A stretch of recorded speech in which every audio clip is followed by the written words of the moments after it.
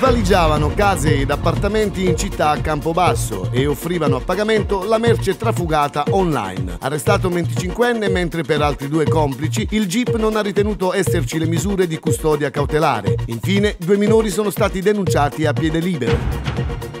Anche quest'anno a San Paolo Matese si è tenuta la festa del ringraziamento e degli anziani, una giornata di gioia alla presenza dell'arcivescovo di Campobasso Boiano, Monsignor Giancarlo Bregantini, una manifestazione che ha origine nelle tradizioni agresti e religiose che si uniscono per festeggiare il raccolto e l'annata agricola andata bene. Un grande spettacolo frutto di un grande lavoro migliaia di bottiglie, di tappi e di contenitori di plastica, tappi di bottiglie di spumante e altro materiale che altrimenti sarebbe finito nella pattumiera, hanno dato vita a capolavori che si potranno ammirare per tutto il periodo delle festività natalizie nel centro di Venezia.